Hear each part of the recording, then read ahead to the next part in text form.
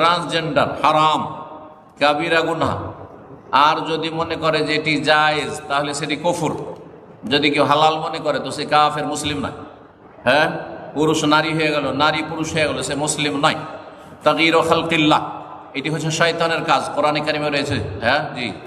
যে সুরা নিসার, আয়াত একশো উনিশ। শয়তান মানব জাতিকে জাহান নামে নিয়ে যায়, বিভিন্ন অশ্বাসা, কুমন্ত্রণ এবং পাপে প্ররোচিত করে। তার এটি হচ্ছে খালকাল্লাহ। আল্লাহর সৃষ্টিতে পরিবর্তন ঘটানো।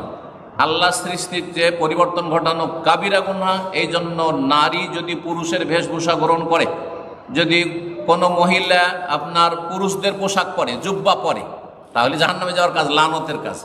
কোন পুরুষ যদি মহিলাদের মতো বোরকা পরে হ্যাঁ অথবা মহিলাদের মতো বড় বড় চুল রেখে মহিলা সাজে, তাহলে সে জাহান নামে যাওয়ার কাজ। তাতেই যদি হয়, তাহলে লিঙ্গ পরিবর্তন করল, সেটা কত বড় গোনা চিন্তা করো সুতরাং সেটা কমপক্ষে কাবিরা গোনা জাহান নামে যাওয়ার কাজ যদি তবা না করে ফিরে আসে।